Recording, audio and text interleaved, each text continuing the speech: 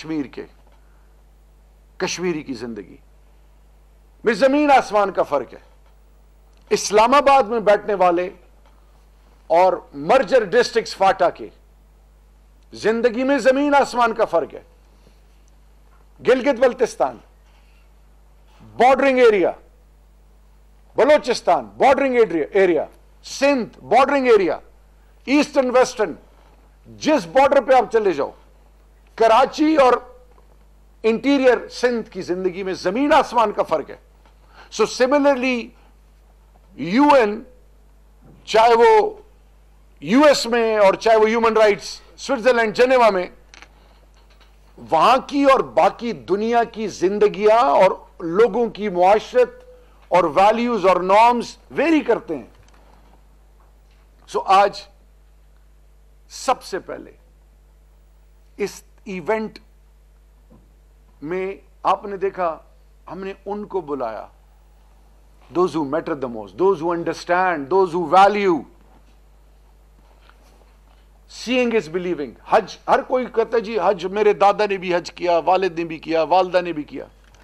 But उसको उस वक्त तक पता नहीं है जब वो अरफात, और वहाँ पे जब वो जाता है, और वो जब खुद करता है तो जब वो वहाँ से वापस आता है, उसकी सोच बदलती है।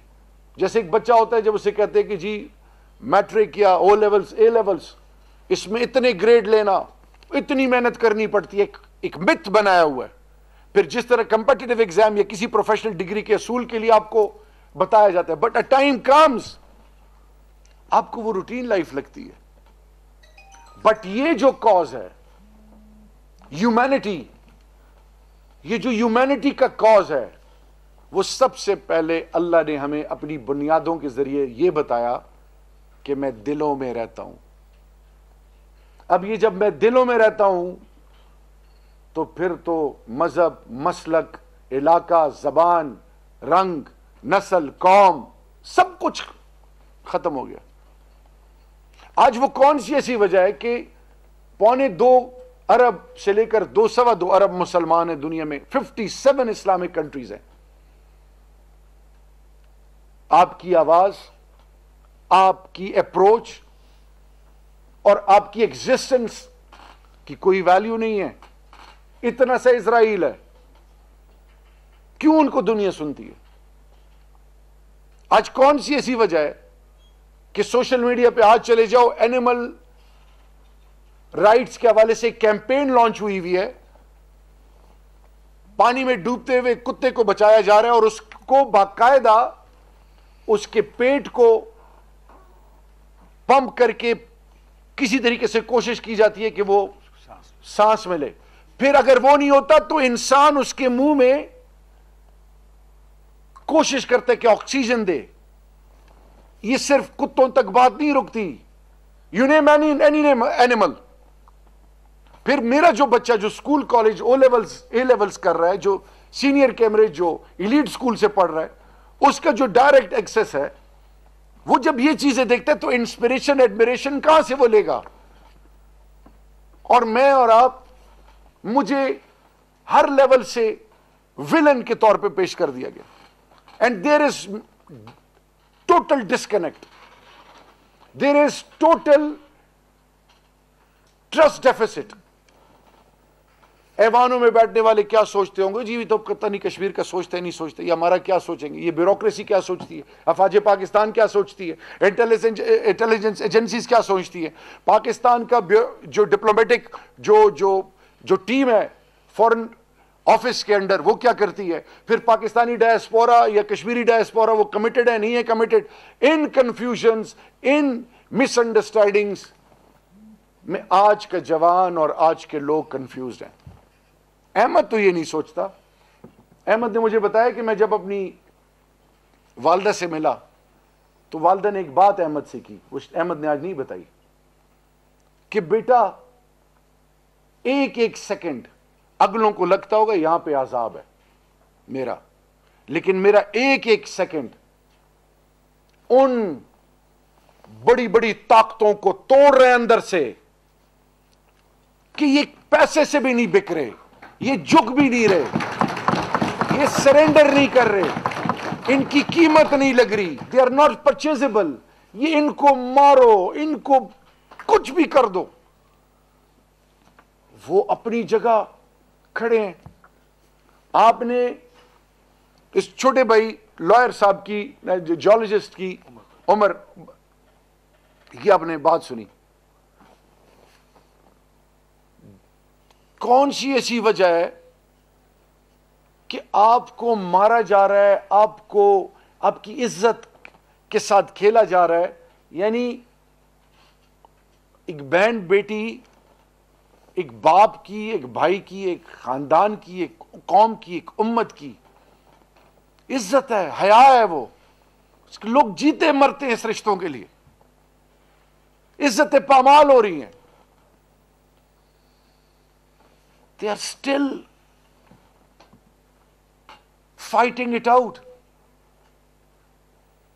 यानी ये वो चीज़ें हैं जो आज हमें पहले अंडरस्टैंड करनी है। आज के बच्चों 21 साल बच्चे की जेन में आ गया, लेकिन those who matter the most जिन्होंने मेरा और आपका फ्यूचर डिसाइड करना है, पूरी दुनिया के मसाइल का हल ढूंढना है, वो आज भी उनके मफादात और उनकी प्रायोरिटीज कुछ और हैं। उनकी प्रायोरिटी क्या है?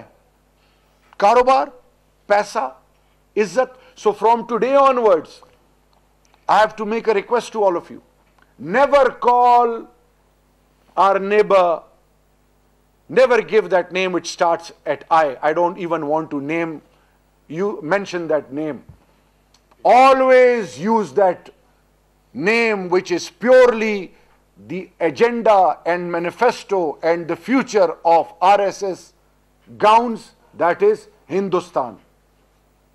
It is Hindustan. It is, and Hindustan ke andar bhi, it is only for those who are either Brahmins or the top notch of Hindu, Hinduism. मिसाल के तौर पे हमें दुनिया में कहा जाता था राइजिंग एक मुल्क का नाम लिया जाता था। शाइनिंग इनक्रेडिबल वो जब मैं इंडिया गया और मैंने अपनी आँखों से देखा तो वो मुनाफ्कत की, वो इंतहा है कि दिखाते कुछ और पीछे कुछ और होता है। आप में से न्यू दिल्ली जो गया, हाथ उठा ले। न्यू दिल्ली एयरपोर्ट से टू एनी डिज़ायर डेस्टिनेशन क्या वो स्लम्स आप देख सकते हैं? एज एज अ टूरिस्ट नहीं देख सकते। क्योंकि पैरेलल दोनों साइड पे दीवार है और और हिंदुस्तान को किस तरह प्रमोट किया गया? You walk in on the street of Mumbai Calcutta आपको लग पता जाए कि इंसान किस तरह ज़िंदगी गुजारे। और ये कोविड क्लासिक एग्जांपल है कि एक वो मुल्क जो अपने कहता है कि सबसे बड़ी मैं जमहूरियत हूँ और मैं जी पता नहीं वो मुल्क हूँ जहाँ पे सबको आज़ादी है। तमाम हिंदुस्तानियों को छोड़ दिया गया कि अपने डिज़ायर डेस्टिनेशन खुद पहुंचो, स्टेट पीछे चली गई। लाखों करोड़ों लोग स्टैंडर्ड, हामला खवातीन, बूढ़े, बुज़ुर्ग, बच्चे, जवान वर्ल्ड नेवर प्रोजेक्टेड हाईलाइटेड और शोन दोज इमेजेस क्योंकि उनके मफादात वहाँ पे हैं।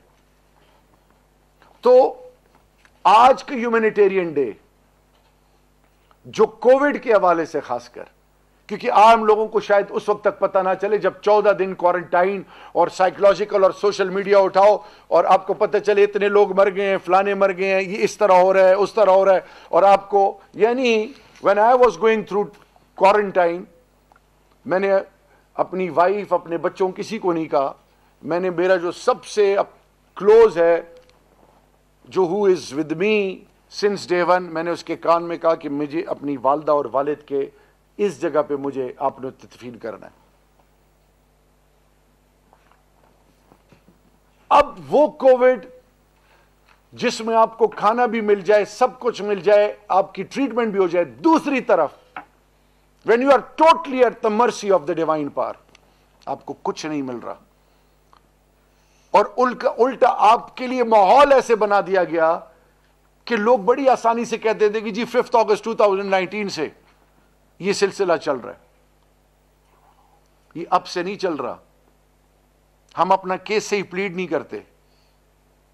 इट्स हैपनिंग सिंस 174 इयर्स एक सौ चौहत्तर साल से डोगरा को जब यह बेचा गया 1846 में तब से आपके साथ ये और उनके साथ हो रहा है।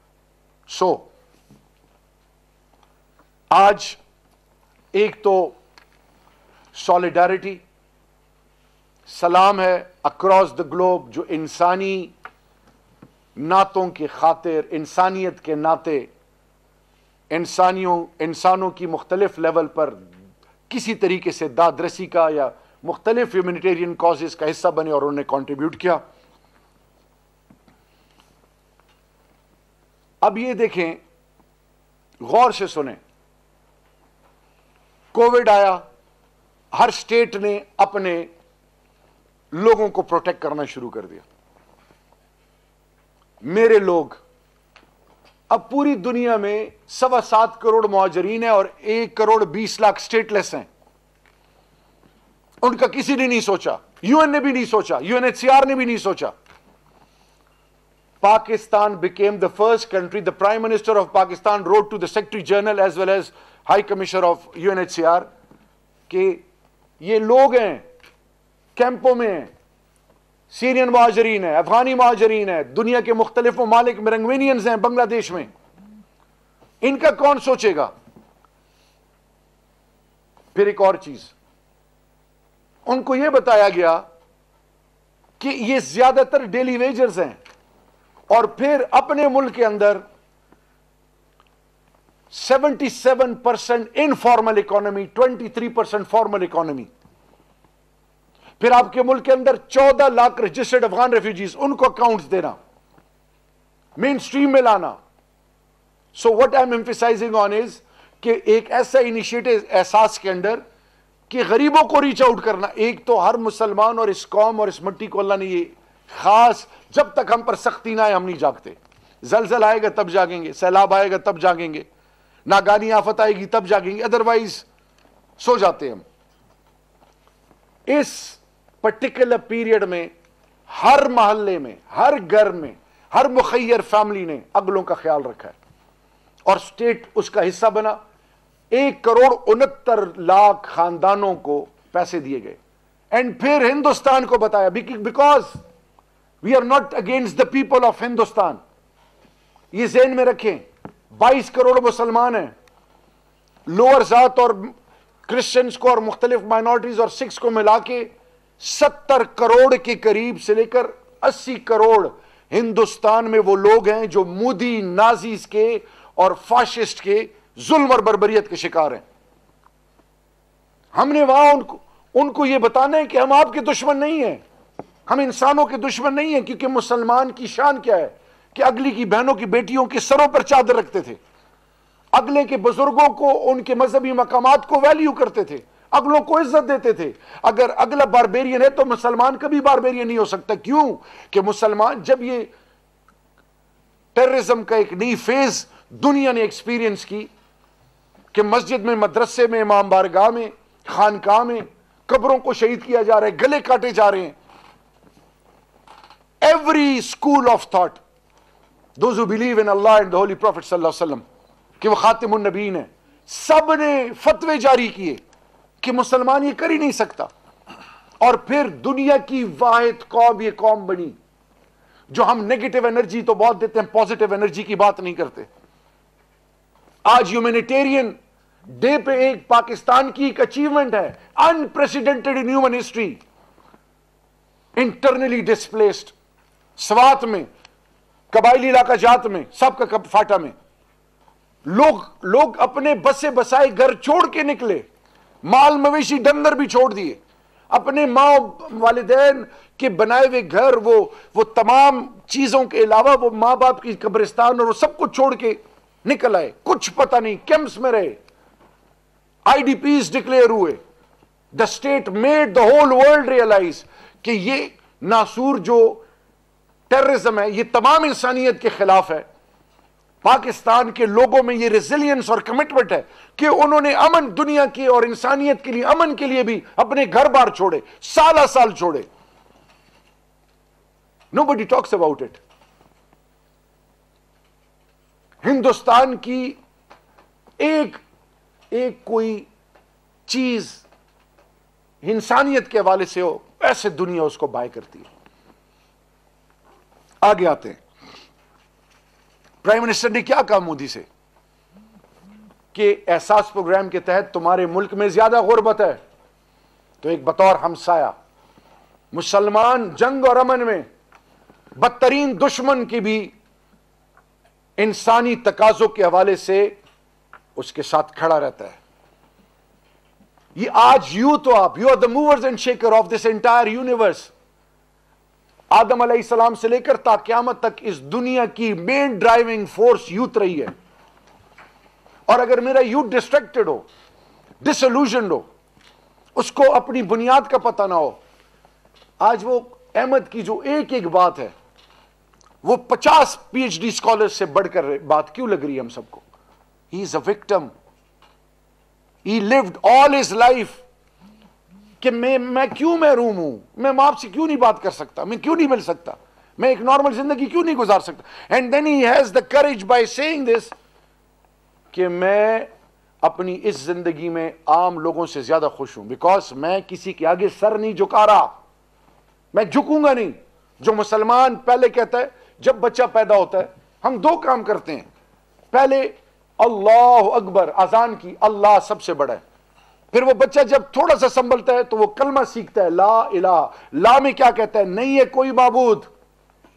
दोनों जगह पे आपको इंडोर्स करते हो हर बच्चे के जहन में। So third and most important point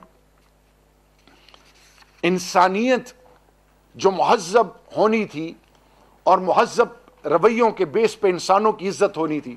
मैं कैथलिक स्कूल से पढ़ा हुआ मेरे पीछे भाई बैठे हुए वो भी कैथोलिक स्कूल से पढ़े हुए फादर नंस हमने जो गिरजे में जाना, उनके साथ उठना बैठना, आज भी पाकिस्तान के अंदर मिशनरी स्कूल्स खुलेआम फ़ंक्शन कर रहे हैं। हम तक नज़र तो नहीं है। एक शख्स गलत हो जाए, पूरे मुआशरे को गलत नहीं कहा जाता। एंड प्लीज़ आज आप जो कुर्बानियाँ दे रहे हैं both sides of the border जितनी भी कश्मीरी है, आपको ये मैं ईमानन आपसे कह रहा हूँ, ना हम वोट के लिए, ना आपकी अच्छी अच्छी बातों के लिए, ना कि ये खुश हो जाएँ। It is the commitment of my prime minister in this government with Allah that we will use all means to achieve our desired objective and that objective is कि यूएन की जो कमिटमेंट है, वो कश्मीर के हवाले से वो कंप्लीट की जाए। We will never back out from that हम कश्मीर कमेटी आज प्रोफेशनल्स को एक्सपर्ट्स को ऑन बोर्ड लिए हुए हैं। चेयरमैन कश्मीर कमेटी शहरियार आफरीदी कश्मीर के हवाले से मुनदा सेमिनार से खिताब कर रहे थे। उनका ये कहना था कि मकबूजा और आज़ाद कश्मीर के हालात में ज़मीन आसमान का फ़र्क है और यही वजह है कि दोनों के शहरीों की सोच में भी उतना ही फ़र्क है। कश्मीरी, हर कश्मीरी बच्चा जो है वो अपनी सोच के मुताबिक सोशल मीडिया का भी इस्तेमाल कर रहा है। लेकिन इस वक्त आलमी बिरादरी को भी अपनी नज़र में रखना होगा कि कश्मीरियों के हकूक़, उनकी आज़ादी किस तरह से पामाल की जा रही है।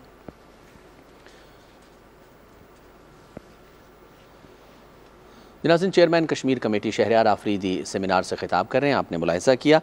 इस वक्त आपको दिखाते हैं वज़ीर मवासलात मुराद सईद ने भी एक तकरीब से खिताब किया है।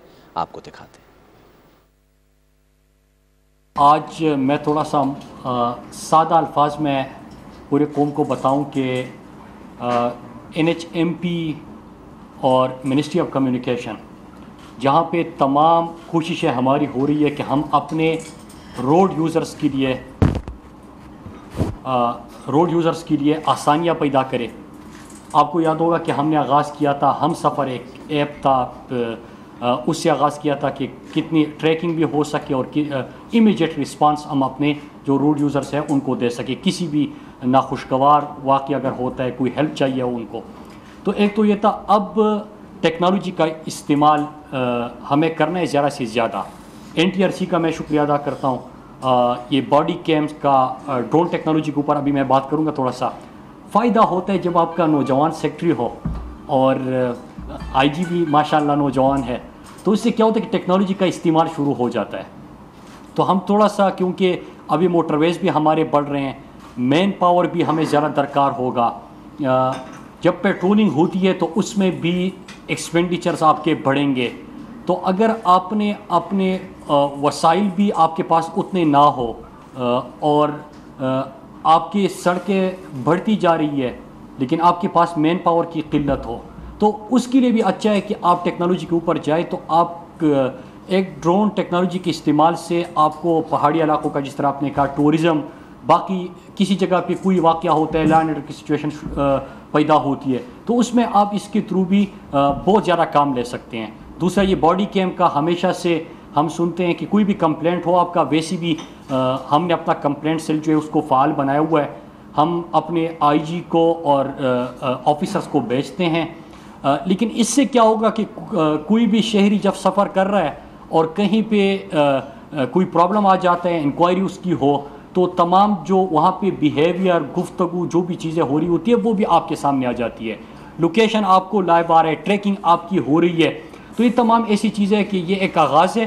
और इन टी सी मिलकर आ, आ, हम न सिर्फ़ ये कि ये बॉडी कैम्प जो है वो अपने पूरी मोटरवेज तक इसको फैलाएँगे। वन थ्री ज़ीरो मुकम्मल तौर पे फाल होगा। दस हज़ार से ज़्यादा रोज़ाना आपको कॉल रिसीव होगी लोगों को हेल्प होगी।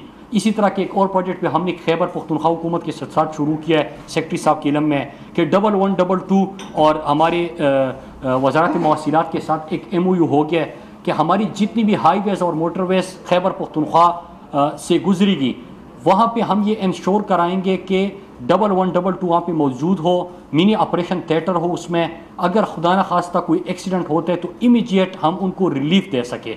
आ, हम पंजाब में और सिंध बलूचिस्तान में भी इसको फैलाएँगे इन ड्रोन टेक्नोलॉजी का आज मैंने कही और साइंस एंड टेक्नोलॉजी के वज़ीर बैठे थे फवाद। मैंने वहाँ पर भी बात की आ, उन्हें मैंने ये टास्क दिया था कि आप इसके ऊपर हम इकट्ठे काम करते हैं। तो हमारे सेक्रेटरी साहब इसको देख रहे हैं। इन हम ड्रोन टेक्नोलॉजी बल्कि पेट्रोलिंग के लिए भी हम इसको इस्तेमाल कर सकते हैं। तो इस पर जाएँगे। बाकी जो मोटर वे पुलिस के हवाले से बात की मैंने पहले भी कहा था आई जी आई जी साहब और अपने